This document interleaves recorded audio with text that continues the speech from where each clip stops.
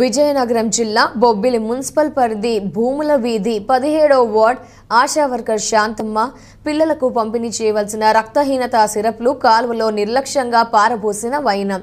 ఇక వివరాల్లోకి వెళ్తే పౌష్టిక ఆహారం లోపించిన ఆరు నెలల నుంచి ఐదు సంవత్సరాల పిల్లలకు పంపిణీ చేయవలసిన ఐరన్ మరియు ఫోలిక్ యాసిడ్ సిరప్లు కాలపరిమితి ఉన్న నిర్లక్ష్యంగా ఆశా వర్కర్ శాంతమ్మ కాలువలో పడివేసింది. ప్రభుత్వం వేల కోట్ల రూపాయల్ని వెచ్చించి సరఫరా చేసిన మందులు ఇలా పారబోయడంతో అధికారులు నిమ్మకు నీరెత్తినట్లు చూస్తున్నారే తప్ప చర్యల్ని చేపట్టకపోవడం కొసమెరుపు.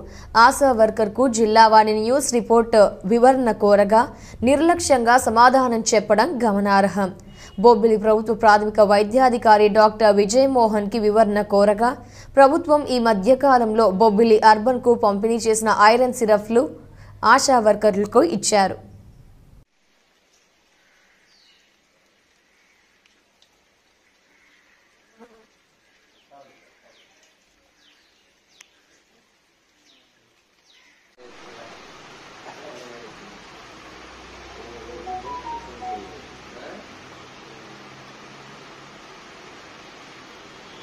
గవర్నమెంట్ అందరికీ సప్లై చేశారండి. బొబ్బిలి అర్బన్లో కూడా సప్లై చేయడం జరిగింది.